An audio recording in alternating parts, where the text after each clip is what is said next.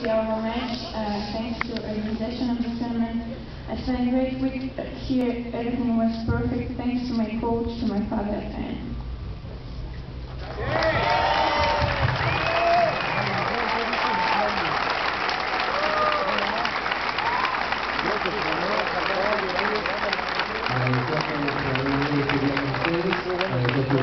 Gracias.